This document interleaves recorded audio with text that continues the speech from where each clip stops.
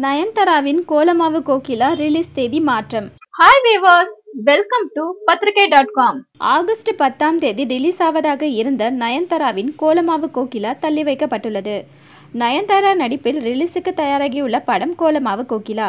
சுருக்கமாக இந்த படத்தை கோகோ என்று குறிப்பிடுகின்றனர். நெல்சன் திலீப் குமார் இயக்கியுள்ள இந்த படம் ஹீரோயினை முன்னிலைப்படுத்தி எடுக்கப்பட்டுள்ளது. காசுக்காக கஞ்சாவிற்கும் பெண்ணாக நயன்தாரா நடித்துள்ள இந்த படத்தை லைகா புரொடக்ஷன்ஸ் தயாரித்துள்ளது. அனிருத் இசையமைத்துள்ள இந்த படத்தில் சிவகார்த்திகேயன் விக்னேஷ் சிவன் அருண் ராஜா காமராஜ் ஆகிய மூவரும் பாடல்கள் எழுதியுள்ளனர். இந்த படம் ஆகஸ்ட் மாதம் பத்தாம் தேதி ரிலீஸ் ஆகும் என முதலில் அறிவிக்கப்பட்டது.